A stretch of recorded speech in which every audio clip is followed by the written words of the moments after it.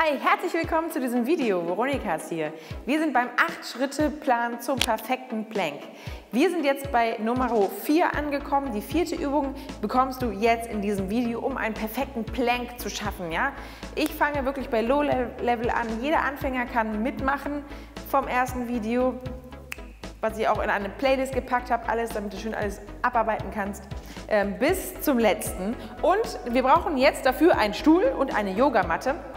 Und wir machen jetzt die vierte Übung. Letztes Mal haben wir uns schon auf die Ellbogen gestützt. Wir haben ja langsam angefangen mit den Armen.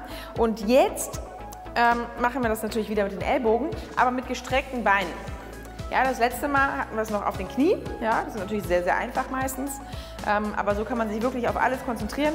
Jetzt mit gestreckten Beinen. Also die folgende Übung bitte üben, tagtäglich und so lange halten, wie du kannst. Also wieder dran denken, Schulter runter, hier aufstützen. Ja, geraden Rücken direkt schon. Am besten ähm, in den Spiegel schauen die ganze Zeit. Und jetzt einfach die Beine strecken. Und jetzt noch mal gucken, ob du alles gut gerichtet hast. Ja, Po darf nicht zu hoch sein, kein Hohlkreuz. Ja, auch wenn das gut aussieht, ja, diese Playmate-Posen quasi. Aber hier auch schön Schulter runter, eine gerade Linie und ja, bis zum letzten C strecken, strecken, strecken, strecken. Und das jetzt halten, halten, halten, halten, halten. Ja, das ist dadurch, dass es nach oben geht, nimmt es dir nochmal sehr viel Gewicht weg. Und mit der Polsterung auf dem Stuhl, ja, tun auch die Ellbogen nicht so weh. Also wir tasten uns wirklich ganz, ganz langsam ran, ja. also, jeden Tag üben, so lange halten, wie du kannst und die Zeit stoppen, damit du weißt, wie lange du hältst. Also, Daumen nach oben, wenn du auch den Plank kennen können möchtest. Und weitere kostenlose Sachen findest du bei mir auf der Webseite.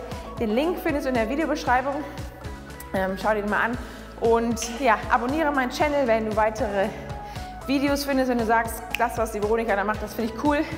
Ja, kannst dich auch mal ein bisschen umschauen. Fitness, Ernährung, da habe ich sehr, sehr viele Videos zu gemacht. Coole Rezepte, coole Workouts zum Mitmachen live. Ja, was will man mehr? Also, dir viel Erfolg beim Üben und bis zum nächsten Video. Ciao!